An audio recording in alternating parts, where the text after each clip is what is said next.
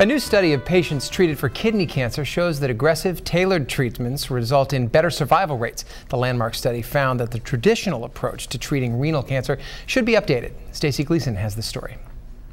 Is everything okay? I went to the oncologist and he finally told me, he said, Ellen, there's nothing we can do for you. I'm so sorry.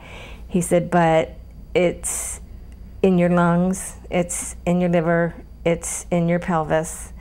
And what I would have to give to you, the only thing I would have I can give to you would be so strong it would kill you in the condition you're in right now. That was four years ago, but Ellen Fortney's doctor referred her to UCLA's Jonsson Comprehensive Cancer Center, where she was enrolled in a clinical trial of a new drug for kidney cancer. She also became part of a study of nearly 1,500 patients who have been followed for up to 15 years.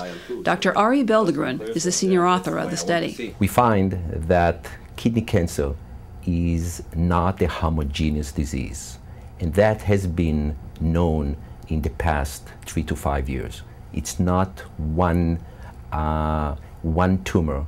It looks like one. The pathologist is looking at one, but the behavior of this tumor is very different at different patients. Because of that, a one size fits all approach doesn't work in treating the disease. What we really found is there are three types, subtypes of patients uh, with localized kidney cancer. Those that we call them high risk, intermediate risk, and low risk. The low risk group of patients are those that we can identify immediately after the surgery and predict that in 97% of the patients, they will be well at 5, 10, and even 15 years after therapy. On the other hand, there's a group of patients that we originally thought that they are essentially cured, and that's why we did a surgery, only to find later on that five years later, 50% of them have had a recurrence with metastatic disease somewhere else.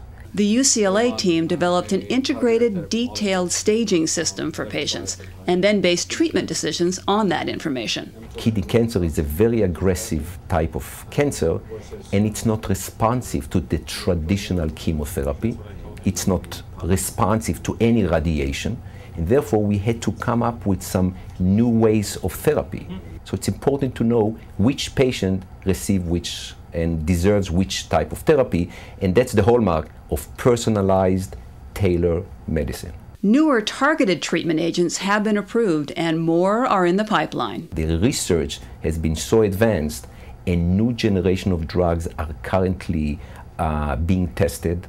I am aware of at least five to six new, dr- new drugs that are being tested for this particular disease. While effective, some of the drugs have powerful side effects. After the first six months on the, the heavy dose, I kind of told the doctor that I might prefer the cancer to the drug. So Ellen then talked with her doctor. He goes, Well, let's see, we can reduce it a little bit. You've done really well on this. We'll just take it down to the next level. And I'm still on that one. The approach to treating kidney cancer at UCLA involves an interdisciplinary team of physicians, including the surgeons, radiologists, and oncologists. The patient comes in at that time, at that place, all the subspecialty and expertise in kidney cancer is in the same clinic, and we all discuss what can we do for the patient. The team approach made you feel like you were never alone no matter what your problem was, somebody from the team was going to help you. For World Health News Today, I'm Stacy Gleason.